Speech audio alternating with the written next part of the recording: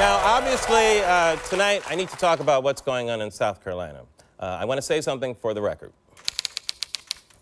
Now, last Saturday, a white cop in South Carolina killed a black man named Walter Scott. Officer Michael Slager stopped Scott for a busted taillight, not a violent crime, and somehow Scott wound up dead.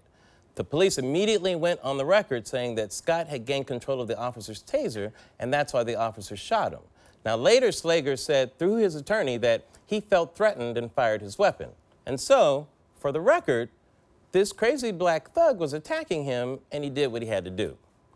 But also for the record, this time we actually have the record. There's a cell phone video of the shooting in which Scott is trying to run away, and this cop shoots him in the back five times, killing him. Now, for the actual record, it appears that Officer Slager immediately began the cover up of Walter Scott's death. He handcuffed Scott as he lay bleeding on the ground. Then he picked up what looks like an awful lot like that taser and laid it next to Scott's dying body, presumably to make it look like Scott was armed during the altercation. So, end of story, right? Another black man shot in the back by a cop. I mean, it's as American as an apple pie filled with baseballs cooked by a bald eagle with the head of Guy Fieri. All right? Yesterday, after the video emerged, Officer Michael Slager was charged with murder. And that's the great news. Thank you.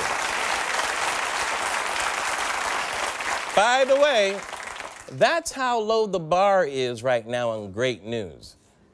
Right? I mean, the fact that a cop who coldly murdered someone on camera even faces the remote possibility of justice is giving me the warm fuzzies. and for the record, all this good news does is make me think about how many of these murders aren't caught on camera. Here, let me show you a video of another violent altercation between citizens and police. Now, this cop is great, okay? He's got the one guy pinned, and then this other guy comes up.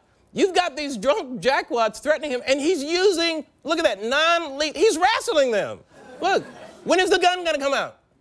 When is the gun gonna, look, now he's detaining two crazy bros who are wilding out. Oh, this is gonna turn tragic any second. Wait, that's it? These two white guys jumped a police officer and they wind up in a three way sand tickle fight? and the brother in South Carolina was running from the cop and he's not alive today. I said it once before. I'll stop talking about this when it stops happening. For the record, we'll be right back. Hey, America, follow The Nightly Show with Larry Wilmore on Twitter, but don't follow me home. I want followers, but I don't want followers. That's stalking.